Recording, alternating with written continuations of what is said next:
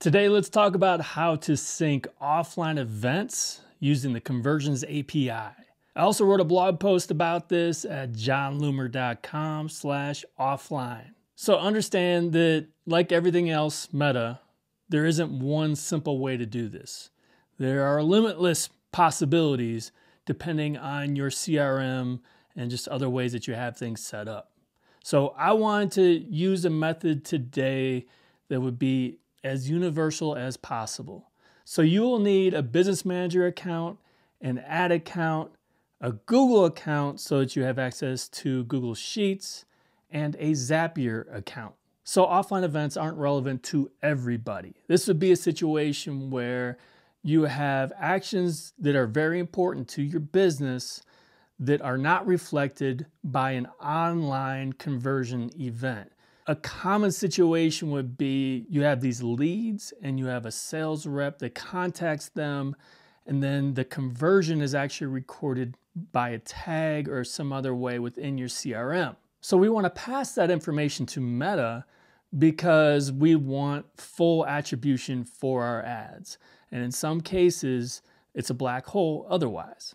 The first thing you'll need to do is go to your business settings, previously known as Business Manager, go down to Data Sources, Offline Event Sets, click Add. Name that offline event set, click Create. Assign an ad account to it, click Next.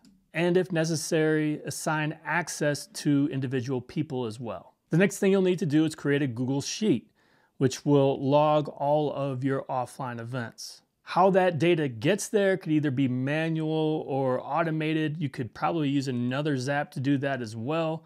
But again, I want this to apply to everybody. Don't care how you do it, just make sure you have a sheet for this purpose. Of course, you may be unclear about the formatting of this data, which is going to be really important. So, what are the data columns? What is the actual data flowing through.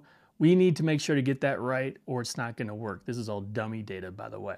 So a good way to check that is go into your events manager, data sources, find your offline event set, click upload events. First thing you can do is click any of these links to view examples. If you hover over any of these, it'll give you formatting examples for how these should look. The other thing you can do is click download example CSV file and then you can use that as a foundation and just make sure that your formatting matches up.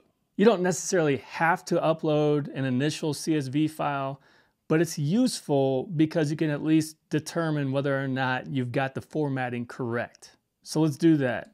So once you've uploaded a CSV, click Next, Map Data. And this is where it will show you if you've got anything wrong. Now, everything is right, so I don't need to worry about it but otherwise you can select a specific data field that it should map to.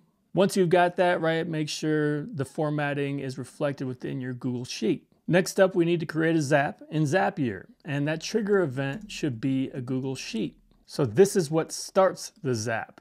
The actual event should be a new or updated spreadsheet row. Click Continue. Then select the actual spreadsheet the worksheet, and then the trigger column, which should be any column more than likely. Then click continue. Test that trigger to make sure it pulls in data. If we're good, continue. Now we want the action, which should be Facebook offline conversions. The event will be send offline event. Click continue. Select your business account and then the event set. And this is a known problem, I assume, with Zapier. If you don't see your event set here, do not panic go back to Events Manager, Data Sources, Event Set ID, and you'll want to copy that. It should be about 15 characters long, all numeric. Go to Custom here within Zapier, paste that in. It'll say no matches found, then click Use It, and that's it. Event time, you can actually pull that in if you want from your spreadsheet. Otherwise, if you leave it blank, it will just default to run the, the time of the zap which if you run this dynamically, that may be ideal. Then go through and select each of these fields from the spreadsheet to reflect these individual fields that Meta is looking for. What data you have here, it's going to depend. You don't need to provide all of this information. The more that you have, the better for matching purposes. If you know that all these events are going to be the same and classified as, say, a purchase, do that. Otherwise, you may have to go with other. If content type like product or product group is important or relevant, select that. Once you're done, click continue and then test the step. Once that zap is live and you start passing new data to your spreadsheet first, eventually you'll start seeing this in Events Manager. Now, understand that it, first of all, might take 30 to 60 minutes just to start populating here. Don't panic. But the other thing is the time and date that is being passed to Conversions API will also be the date where it appears here within your results. Once you do this, you can then add a column for these offline events within Ads Manager you could potentially optimize for them as well. Once again, for more details on that, go to jonloomer.com slash offline.